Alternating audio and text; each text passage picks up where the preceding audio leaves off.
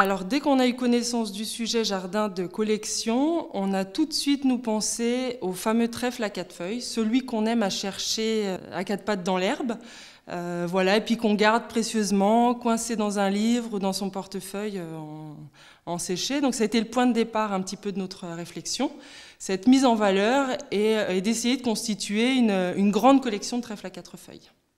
Donc on pourrait imaginer, euh, quand on part sur le, trèfle, en imaginant un jardin de trèfle, que celui-ci sera relativement monochrome. En fait, pas du tout. Sur la, vingtaine d'espèces qu'on vous présente, il y en a euh, avec des floraisons jaunes, des floraisons pourpres.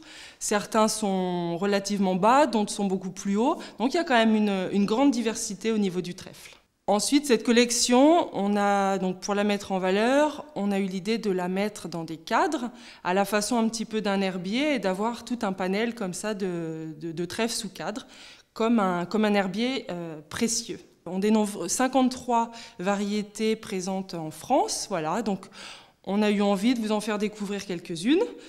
Euh, que vous retrouverez dans les jardinières. Pour renforcer cette collection que l'on veut précieuse et agréable à regarder, nous sommes partis au niveau du sol et de la déambulation sur un, sol en platelage bois, avec les lames posées en quinconce, euh, l'azuré ponctuellement, enfin pour créer un jeu euh, comme ça de couleurs qui permet d'avoir une richesse et un sol aussi un peu plus élégant. Pour que le visiteur se fasse aussi plaisir, on lui a concocté en parterre tout autour de notre magnifique collection de trèfles, euh, des parterres, deux trèfles, le trèfle commun, celui qu'on a l'habitude de voir dans les gazons, sur les pelouses.